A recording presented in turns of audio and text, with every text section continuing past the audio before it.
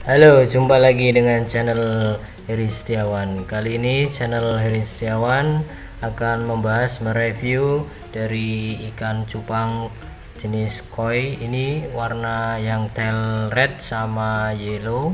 Kita lihat kalau yang red dulu yang merah ini kemungkinan warnanya masih bisa berubah karena ini masih uh, belum begitu dewasa ya masih sekitar kalau usianya 4 bulan. Kita lihat dari dari warna tailnya siripnya. Ini masih bisa mutasi lagi karena masih bisa berubah. Yang dari sirip ini kemungkinan masih bisa full.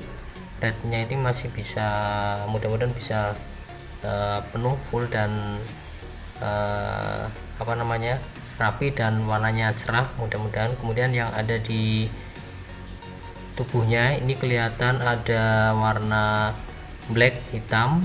Terus ada warnanya putih sedikit di agak di atas tuh ada putih sedikit ini warna-warna ini masih masih bisa mutasi masih bisa berkembang lagi lebih cerah lebih cerah lagi kemudian ada lagi di badannya ini warna merah.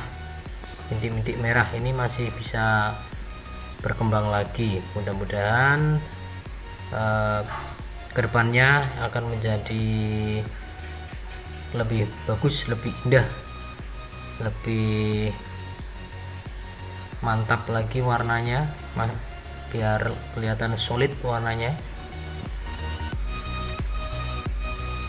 Tuh dari saya mudah-mudahan review singkat ini bermanfaat. Waktu perkembangannya kemudian akan kami upload lagi video-video berikutnya yang berkaitan proses pengembangan dari cupang ini. Mudah-mudahan bermanfaat.